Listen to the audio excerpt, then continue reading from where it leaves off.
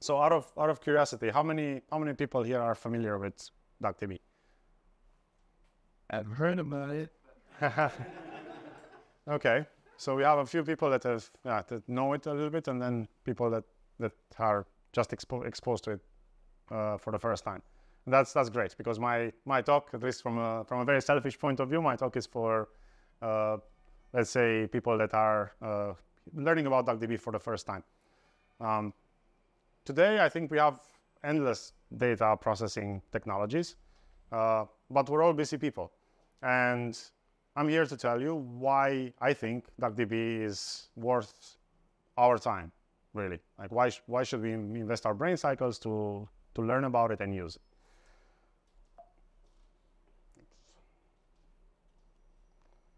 Um, yeah, sorry. First, a disclaimer. So I'm here in my own personal accord. I I am not uh, here on behalf of my employer Google or Alphabet. Um, just starting with that. Um, so the big data landscape in the in the past in the past 10 years. Um, I was looking at this, and you see here in you know in 2012 we had quite a few technologies, but there's not that many of them. And uh, yeah, fun fact here, a shameless plug, I guess, is 10gen is actually the MongoDB company. I used to work for MongoDB before before Google, uh, so they were part of the, I guess, the, the data lands landscape even from back then. Um, in 2016, uh, the space got a bit more crowded. You can still see the logos, you can read the companies, like there's a lot more of them, but but it's still uh, somewhat easy to grasp. And then in 2023, you can no longer understand what's happening, right? Like there's like just too many tools, a lot, a lot of tools. Somewhere out here, you can spot a wild duck, DuckDB. Um, basically, if I if you think of big data today, we've got a staggering amount of tools. I, I did a very finger in the air estimation, and I think we have about nine nine times more uh, than we had in 2012. But I think that's probably a low estimation. I think there's probably a lot more than that. It's, there's a lot of startups in the in the space as well. Um, we've got data warehouses, we've got data lakes, we've got lake houses, we've got uh, you know extract transform load, we got ELT, then we have EL. Honestly, it all feels a little bit ET. the the, ex the explosion of, of options is is both a blessing and a curse. It's a blessing because we have a lot of uh, tools to choose from. So we can we can go and choose the, the thing that seems to work best for our use case. But also the the problem is that we we all have the same amount of hours in the day, and the question arises, or a question arises: What is a good investment of our time? Because we can't possibly learn everything. There's just too much uh, too much diversity in the space. Um, at the same time, I think SQL has established itself as the as a de facto language of choice for data processing, like the T in, in ETL. Uh, it's, a, it's a universal language that many analysts speak. Uh, and it has vast support in many platforms, especially if you think of the big data ones like Snowflake or BigQuery or uh, many of the Redshift. Like there's, there's again too many too many tools. But it is it is it brings me to to DuckDB, right? Which is a database that that uh, uses the SQL query language. Um, so if databases held a popularity contest, they would all be uh, looking at the database engines ranking. Uh, this is, a, I guess, a good proxy for how database technology fares to, to one another. Um, it uses several ranking factors like uh, website mentions, uh, search engine traffic. Like it, it, it, basically looks at people's interest in database technologies. And I guess I'll, I'll make a small uh, small segue here to, to point you to the DALL-E generated image, which I thought was very funny because it's almost correct, right? Only it has little errors, and my, my personal favorite being Mongress B, which I imagine is a uh, combination of MongoDB and Postgres. Um, but I thought it was funny, so I, I kept it.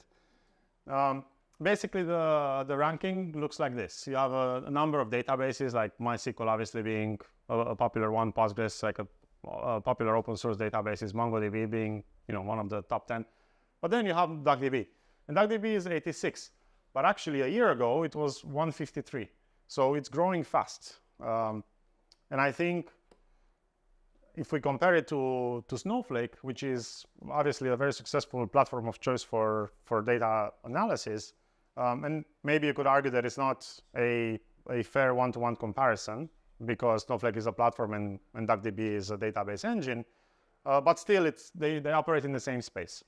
Um, so I thought it would really be relevant to, to look at the two and, and compare them. So you can see that the growth that DuckDB is experiencing in the same amount of time, in about, in about two years, is similar to Snowflake's early days. Now, Snowflake did taper off around that time, and as it reached, I guess, its, its initial user base, it, it stayed somewhat flat for, for the next year and a half, two years, whereas DuckDB is continuing to grow, although the curve seems to be flattening a bit. Uh, but in my, I guess, in my, in my read of this, of this chart is that uh, DuckDB is, is, has reached enough people already. Like it's certainly uh, it's certainly generating a lot of noise in the in the market, and after a few more years, it's it's it's very well placed to actually explode, to become mainstream and become a de facto tool in in a data engineer's uh, toolset. Also notice that this the scale is lo logarithmic, so every line is actually a 10x increase, right? Snowflake increase 10x, DuckDB increased 10x, and it's set to to reach another 10x. It's probably like six at the moment. Um, in any case, I think that this makes DuckDB a very useful skill to have, like a, a, certainly a useful skill to invest at this very point in time. Uh, I can show you some other nonsensical stats. Uh, GitHub stars, for example, like they don't really show much. Uh, after all, anybody can go and star, star a project. But what I find interesting here is that if I compare it to Postgres, it reached the same amount of stars in about half the time. And I mean, obviously, Postgres has been around for longer than 2012. It's just that this is this is how much data they have here, but it's growing fast. That's that's really like the the key takeaway in my in my opinion. Also, like uh, the, it's, it's Python library is seeing about 1.7 million downloads from on PyPy. Um, so it's competing for attention span with many of the open source popular databases out there, like the transactional ones at least. So that brings me to features, right? Like what's, what's so cool about it anyway? So it's an in-process database. Uh, it runs anywhere. It's as simple as doing a brew install DuckDB or maybe use apt or yum, whatever. You install it and you can run it and you can process data.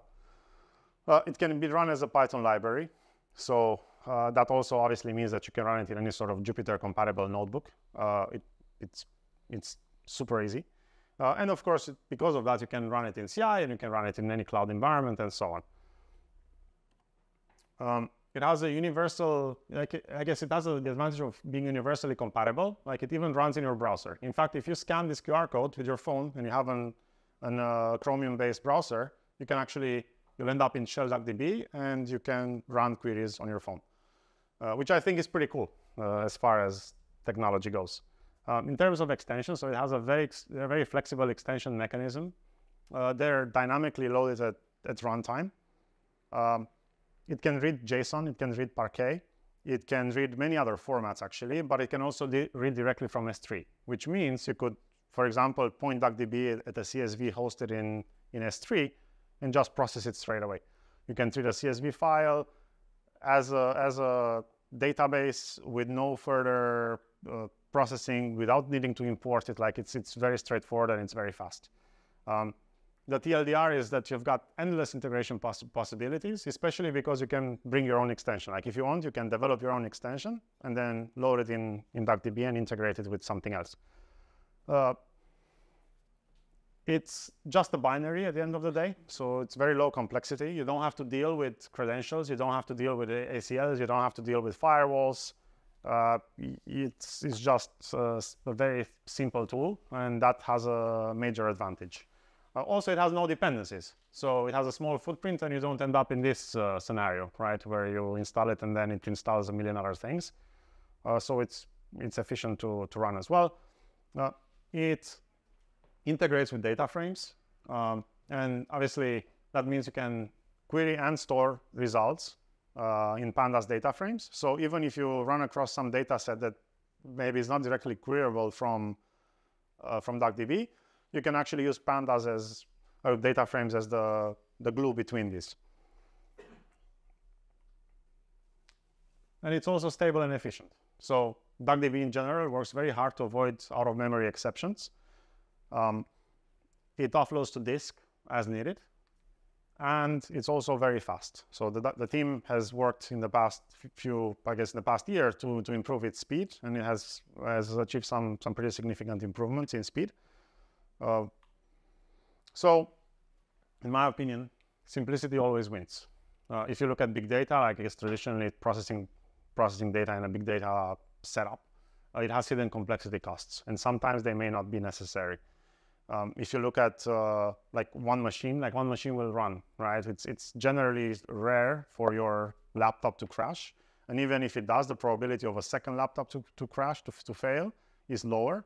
But also you're a user and you will notice if something is wrong. It's not like you're running thousands of machines like, like, a, like a big data distributed system would, where failure is not only uh, expected, but it actually happens.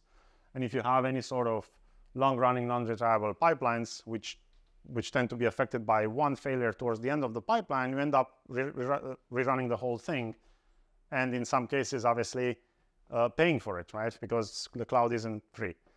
Um, DuckDB, in, in this sense, allows you to, to iterate faster and, and cheaper, uh, especially as you, as you shift left and you, you, you start figuring out your data sets and like what to do with them before you productionize them.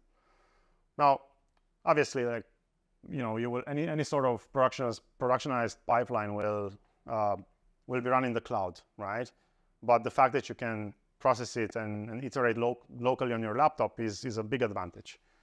Um, and also, you can save your company some money because uh, you know you already have a powerful MacBook uh, sitting on your desk, and it can actually do a lot on its own. Um, now, in closing, I'd like to show you three three syntactic features that I really like. Uh, about DuckDB's uh, SQL syntax. So the first one is the first one is group by all. Um, traditionally, when you write a query, you aggregate by a number of fields. Let's say you, do you compute some sort of aggregation, right? You have to like repeat the same fields in the in the group group by clause. Uh, or in DuckDB, you can just say group by all. So that makes the query much, much, much easier to read, but also much easier to edit because you don't have to, usually, usually your query is not going to look like this. You're probably going to look at a page of query formatted, like you're going to have to scroll up and down. Uh, so just having group by at the end means you can anytime change the list of fields and, and you don't have to repeat yourself, right? The DRY principle, if you will. Uh, then it has the select exclude uh, syntax.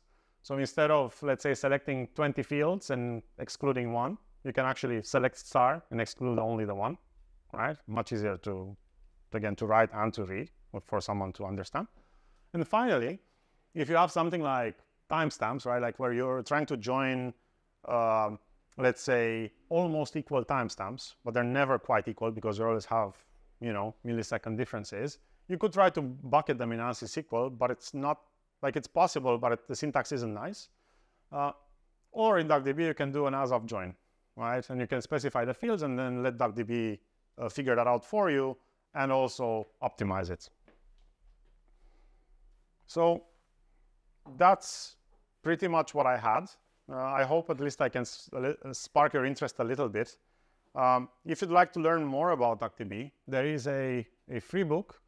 Uh, actually, there are some QR codes uh, there that you can take and then scan, and then you, you, get an early access to the to the DuckDB book.